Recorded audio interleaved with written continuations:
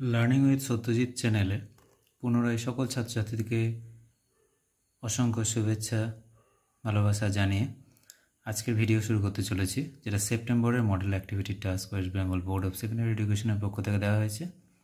তোমরা বাড়িতে বসে এই টাস্ক যাতে খুব সহজেই করতে পারো, সেই সুবিধার জন্য আমি ভিডিও নিয়ে এসেছি, আরও অন্যান্য ভিডিওর মতো।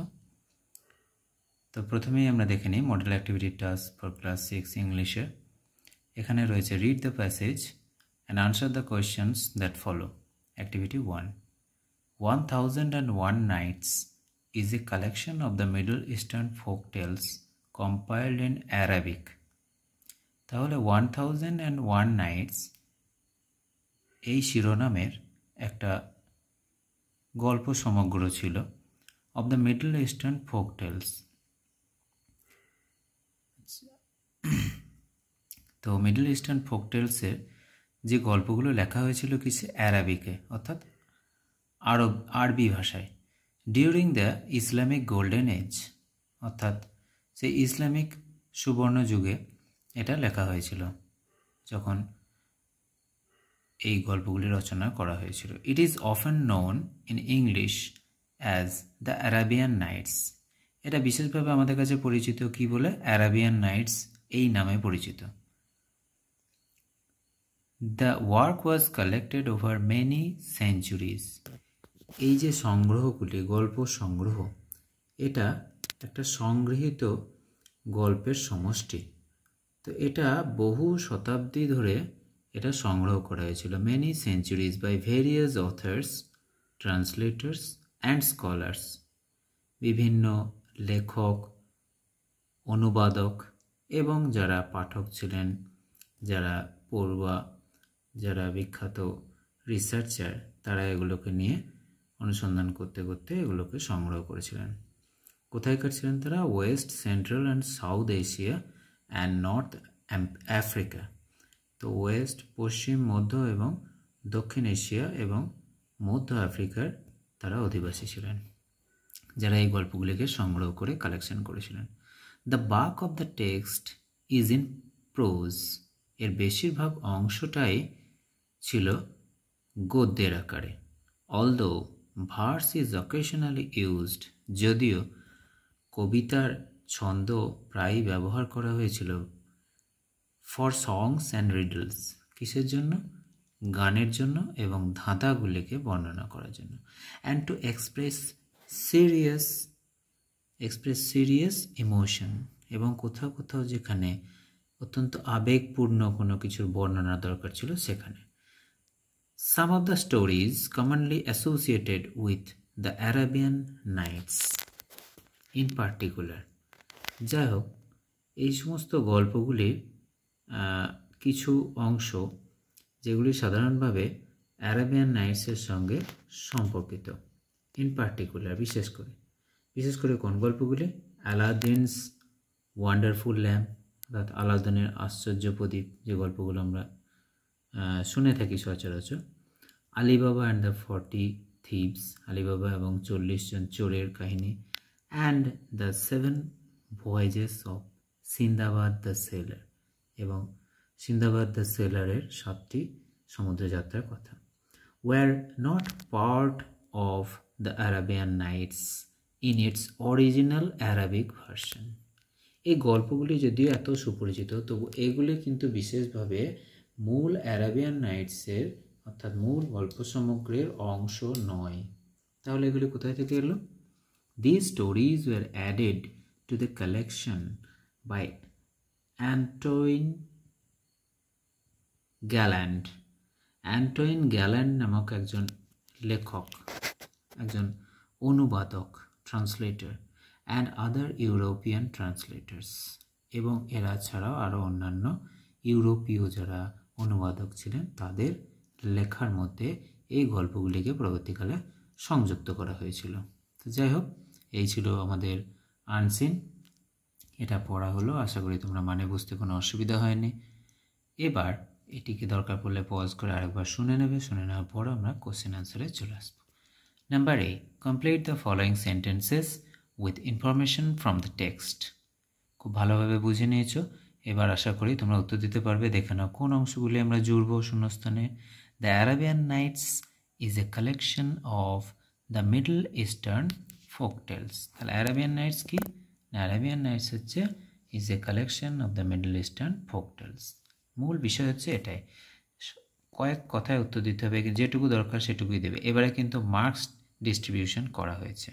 ওয়ান ইন্টু থ্রি অর্থাৎ তিনটে কোশ্চেনে এক নাম্বার করে দেওয়া হয়েছে। তোমাদের এই মার্কসগুলো কাজে লাগতে পারে। পরীক্ষা যেহেতু হয়নি লকডাউনে তাহলে তোমরা কিন্তু মার্কস সম্পর্কে সচেতন হয়ে উত্তরগুলি লিখে স্যারদের কাছে জমা দেবে। আর এর উপরে তোমাদের মার্কসও নির্ধারিত হতে পারে। Okay number two in the text এই গল্পে ভার্স ইজ ইউজড ফর কোথায় কোথায় ভার্স ইউজ করা হয়েছিল? না it is used for songs and riddles and to express serious emotion আমরা গল্প পড়েছি। Used for songs and riddles and to express serious emotion. Okay. Number three, one of the famous translators of the Arabian Nights is Antoine Galland. একজন বিখ্যাত translator Arabian নাইটসের তার নাম কি?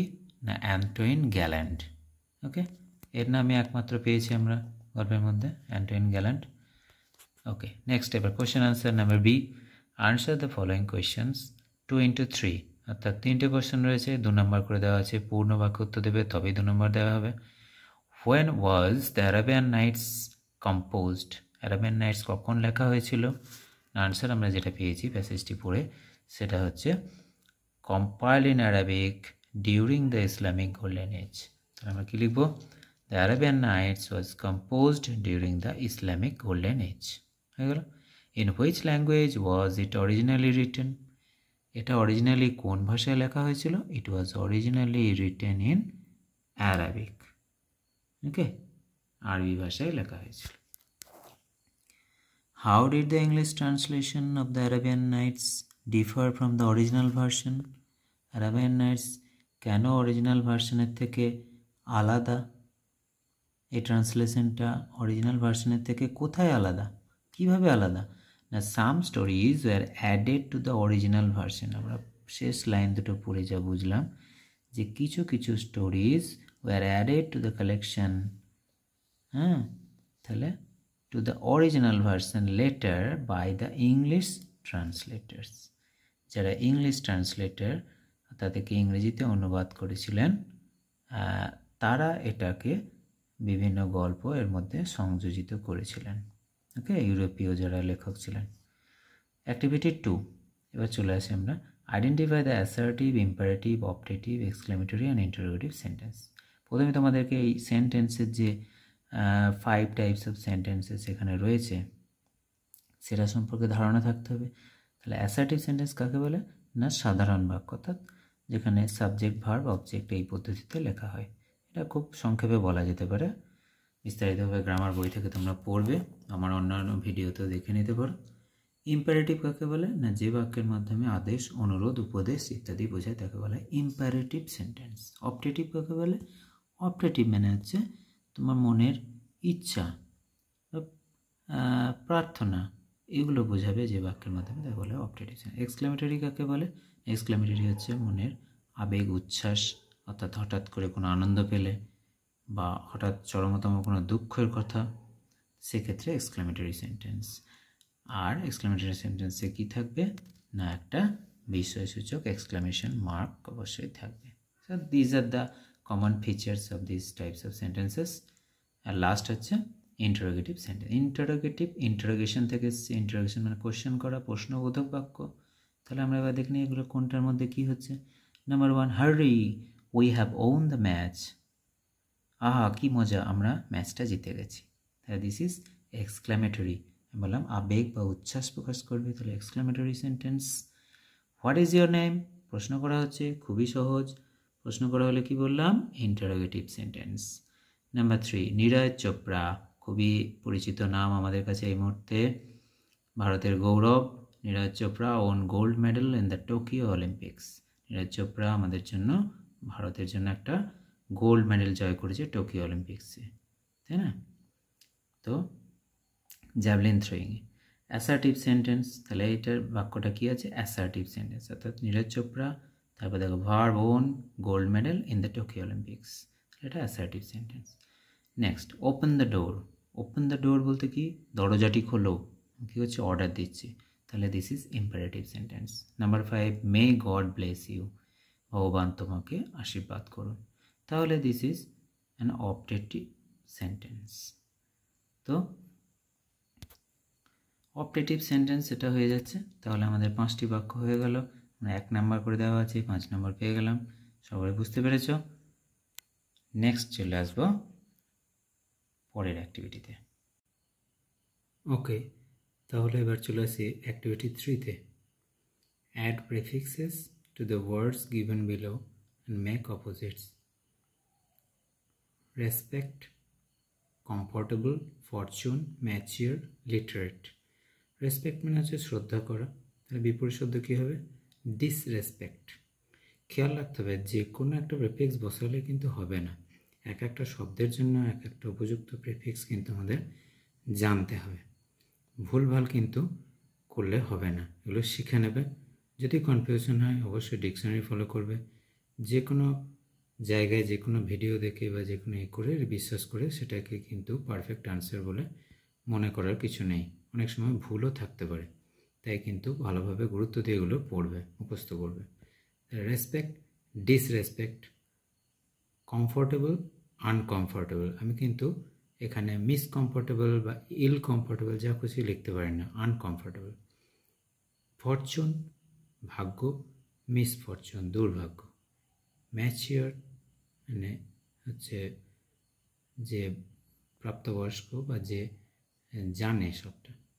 তো mature বিপরীত শব্দ কী হবে? ইম্যাচিওর সে পরিপক্ক নয়। লিটারেট শিক্ষিত ইললিটারেট আই এল যোগ করবে শুধু। তাহলে এই যে শব্দের মূল শব্দের প্রথমে যে অংশটুকু ব্যবহার হচ্ছে, তাকে বলা হয় প্রেফিক্স প্রি মানে পূর্বে ফিক্স মানে হচ্ছে অবস্থান করা। মনে রাখবে, তাহলে ভুল হবে না।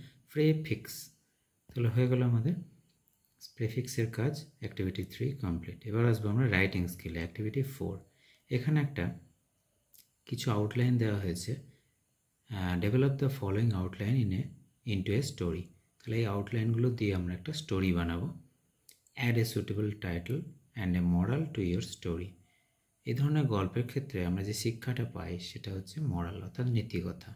এই নীতি উপদেশমূলক গল্প এখানে একটা সুটেবল টাইটেলও দিতে হবে তোমাদেরকে, শিরোনাম দেবে এবং মরাল দেবে। দুটো দিয়ে কিন্তু নাম্বার আছে। দেখো এখানে ছ নাম্বার দেওয়া হয়েছে। ছ নাম্বার পাওয়ার জন্য তোমাকে কিন্তু সেভাবে লিখতে হবে। টাইটেল নাম্বার ভাগ থাকবে মরালেও থাকবে এবং বডি অফ দ্য স্টোরিতেও থাকবে। ওকে তাহলে এসে শুরু করা যাক। প্রথমে বলছে stag was drinking water stag বলতে এখানে মেল ডিয়ার অর্থাৎ পুরুষ হরিণকে বলা হয় stag saw the image of his horns সে তার মাথার যে শিং সেই শিংয়ের ছাওয়া দেখতে পেল জলের মধ্যে যখন সে জল খেতে এসেছিল। অ্যাডমায়ার দেম খুব প্রশংসা করল তার শিংগুলোর আহা, কী সুন্দর আমার শিং। কতই না সুন্দর জঙ্গলে আর কারও বোধহয় এত সুন্দর নেই। ডিসলাইক স্ল্যান্ডার লেগস সে তার নিজের পাগুলোর প্রতি একটু অপছন্দ প্রকাশ করল যে, আমার শিংটা এত সুন্দর, পাগুলো এত বাজে কেন হলো? একদিন কি হলো chased by a pack of wolves তাকে একদল নেকড়ে তাড়া করল একদিন। Horns caught in the thick bush তার শিংগুলো গেল জঙ্গলে ঝোপে আটকে ল্যামেন্টেড তখন সে বিলাপ করতে শুরু করল। তাহলে গল্পটার আমরা টাইটেল দেবো এরকম দ্য প্রাউড স্ট্যাগস হর্নস অর্থাৎ অহংকারী হরিণের শিং। Once a stag was drinking water in a pond একদিন একটা স্ট্যাগ সে জল খাচ্ছিল একটা পুকুরে এসে admiring himself about the beauty of its horns নিজে নিজে প্রশংসা করছিল তার শিং সম্পর্কে। But it was ashamed of its slender legs কিন্তু সে তার সেই শীর্ণ পায়ের জন্য খুবই লজ্জা বোধ করছিল। সামটাইম লেটার কিছু সময় পর it was chased by a pack of wolves একদল নেকড়ে তাকে তাড়া করেছিল। দেখো পয়েন্ট অনুযায়ী কিন্তু লিখে যাবে। And he decided to hide somewhere কোথাও নিজেকে লুকানোর চেষ্টা করছিল ছুটতে ছুটতে। But its horns got stuck in thick bush কিন্তু তার হর্নগুলো সিংগুলো সেই থিক বুসে আটকে গিয়েছিল। He started lamenting on his proud এই সময় সে তার অহংকার, সে তার গর্ব যে সিংকে নিয়ে করছিল, তার জন্য সে বিলাপ করতে শুরু করল। Of his horns which were beautiful but dangerous for his life যেটা সত্যি সুন্দর ছিল, কিন্তু তার জীবনের পক্ষে যথেষ্ট ভয়ের উদ্রেককারী। লাকিলি সৌভাগ্যবশত যাই হোক he was able to free its horns and ran fast to escape তাই না? ভাগ্যবশত সে শেষ পর্যন্ত তার হর্নকে সিংকে ছাড়িয়ে দৌড়ে কিন্তু পার পেয়ে গেছিল সেইবারের মতো। কার জন্য পার পেল? ফর এ স্লেন্ডার লেগস তাহলে কি মরাল পেলাম এখান থেকে? না মরাল হচ্ছে be thankful for what you have ভগবান যা দিয়েছে, সেটুকু নিয়েই সন্তুষ্ট থাকতে শেখো। সেটুকুকেই প্রশংসা করো। কোনটা ভালো, কোনটা খারাপ এরকম করলে নিজেকেই বিপদে পড়তে হয়, তাই না? আর অহংকারই পতনের কারণ। তাহলে তোমরা এভাবে গল্পটি লিখতে পারো। খুব সুন্দর একটা শিক্ষামূলক গল্প। খুব ভালো অ্যাক্টিভিটিটা রয়েছে। তাহলে অবশ্যই তোমরা প্র্যাকটিস করবে বাড়িতে এবং এই ধরনের আরও ভিডিও পেতে চ্যানেলকে অবশ্যই সাবস্ক্রাইব করতে ভুলবে না। পছন্দ হলে লাইক করবে, কোনো প্রশ্ন থাকলে অবশ্যই আমার এই চ্যানেলে লার্নিং উইথ সত্যজিতে তোমরা প্রশ্ন পাঠাতে পারো কমেন্ট বক্সে ওকে ভালো থাকবে বন্ধুরা, সবাই ভালো থেকো। ধন্যবাদ